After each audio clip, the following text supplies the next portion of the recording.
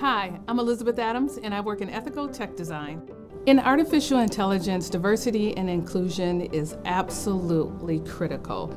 I've been in STEM for about 20 years, and being an African American woman in STEM, I have found that having conversations about diversity and inclusion can be tough. And so I wanted to kind of immerse myself in this subject so that I could work with my colleagues in the community and experts around the world so that we could find solutions to help make technology work for all. When I first got into the space of diversity and inclusion in artificial intelligence, what I relied on mostly was my own personal life experience.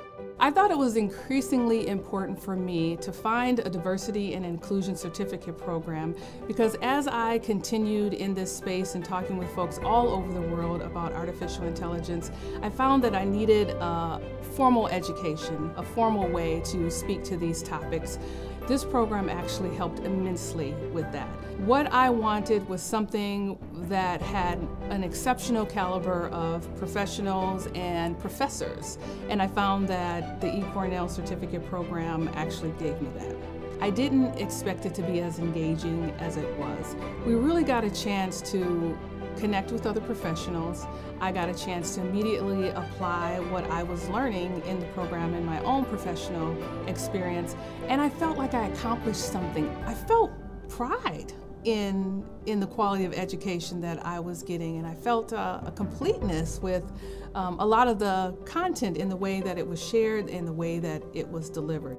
I would like to just encourage anyone who is possibly sitting on the sidelines, you will find so many nuggets of goodness, so many things that you can take away and apply directly to your life and to your work experience. My vote is just say yes. See what's on the other side of yes, and I guarantee you, you will not be disappointed.